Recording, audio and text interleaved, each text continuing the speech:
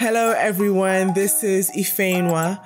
Welcome to Finding Africa to explore and share the beauty of Africa, starting with folk stories from southern Nigeria.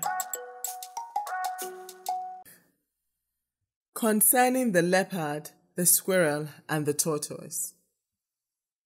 Many years ago, there was a great famine throughout the land and all the people were starving. The yam crop had failed entirely. The plantains did not bear any fruit. The ground nuts were all shriveled up, and the corn never came to a head. Even the palm oil nuts did not ripen, and the peppers and okras also gave out. The leopard, however, who lived entirely on beef, did not care for any of these things. And although some of the animals who lived on corn and the growing crops began to get rather skinny, he did not mind very much. In order to save himself trouble, as everybody was complaining of the famine, he called a meeting of all the animals and told them that, as they all knew, he was very powerful and must have food, that the famine did not affect him, as he only lived on flesh. And as there were plenty of animals about, he did not intend to starve. He then told all the animals present at the meeting that if they did not wish to be killed themselves, they must bring their grandmothers to him for food. And when they were finished, he would feed off their mothers. The animals might bring their grandmothers in succession, and he would take them in their turn so that as there were many different animals, it would probably be some time before their mothers were eaten. By which time it was possible that the famine would be over.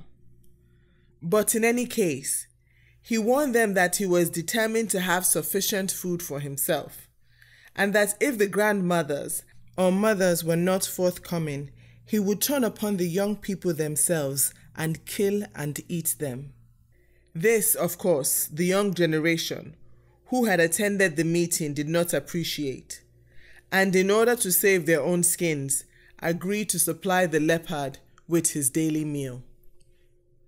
The first to appear with his aged grandmother was the squirrel. The grandmother was a poor, decrepit old thing with a mangy tail, and the leopard swallowed her at one gulp and then looked round for more. In an angry voice, he growled out, this is not the proper food for me. I must have more at once. Then a bush cat pushed his old grandmother in front of the leopard, but he snarled at her and said, Take that nasty old thing away from me. I want some sweet food. It was then the turn of the bushbuck, and after a great deal of hesitation, a wretchedly poor and thin old doe tottered and fell in front of the leopard, who immediately dispatched her and although the meal was very unsatisfactory, declared that his appetite was appeased for that day. The next day, a few more animals brought their old grandmothers until at last it became the tortoise's turn. But being very cunning, he produced witnesses to prove that his grandmother was dead, so the leopard excused him. After a few days, all of the animals' grandmothers were exhausted, and it became the turn of the mothers to supply food for the ravenous leopard. Now, although most of the young animals did not mind getting rid of their grandmothers, whom they had scarcely even known, many of them had very strong objections to providing their mothers, of whom they were very fond, as food for the leopard. Amongst the strongest objectors were the squirrel and the tortoise. The tortoise, who had thought the whole thing out, was aware that as everyone knew that his mother was alive, she being rather an amiable old person and friendly with all comers, the same excuse would not avail him a second time. He therefore told his mother to climb up a palm tree and that he would provide her with food until the famine was over. He instructed her to let down a basket every day and said that he would place food in it for her. The tortoise made the basket for his mother and attached it to a long string of tie tie. The string was so strong that she could haul her son up whenever he wished to visit her. All went well for some days, as the tortoise used to go at daylight to the bottom of the tree where his mother lived and placed food in the basket. Then the old lady would pull the basket up and have her food, and the tortoise would depart on his daily round in his usual leisurely manner. In the meantime, the leopard had to have his daily food, and the squirrel's turn came first after the grandmother's had been finished. So he was forced to produce his mother for the leopard to eat, as he was a poor, weak thing and not possessed of any cunning. The squirrel was, however, very fond of his mother, and when she had been eaten, he remembered that the tortoise had not produced his grandmother for the leopard's food. He therefore determined to set a watch on the movements of the tortoise.